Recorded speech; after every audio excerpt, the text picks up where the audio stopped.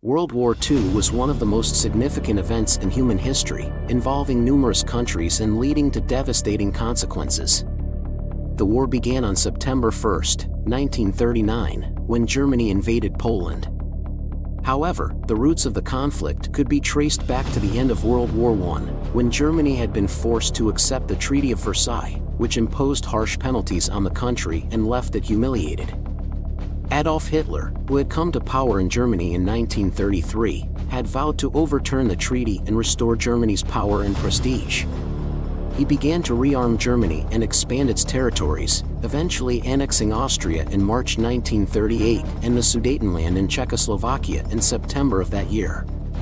The other European powers, including Great Britain and France, initially tried to appease Hitler by allowing him to annex these territories. However, they drew the line when Hitler turned his sights on Poland, fearing that an invasion of that country would lead to war. On September 3, 1939, Great Britain and France declared war on Germany. The war quickly escalated, with Germany invading Denmark and Norway in April 1940, Belgium, the Netherlands, and Luxembourg in May 1940, and France in June 1940 the British managed to evacuate their troops from Dunkirk in a heroic operation, but France was occupied by Germany.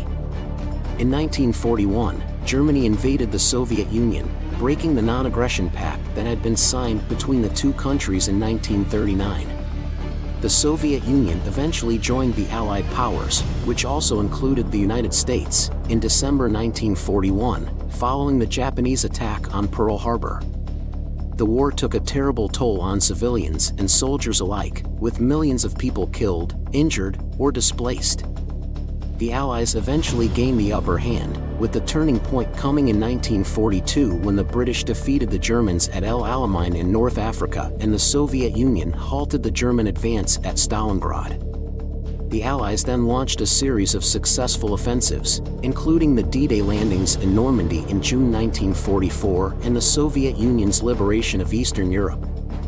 Germany surrendered on May 8, 1945, and Japan surrendered after the United States dropped atomic bombs on Hiroshima and Nagasaki in August 1945. The war had far-reaching consequences, including the formation of the United Nations, the beginning of the Cold War between the Western powers and the Soviet Union, and the establishment of the State of Israel.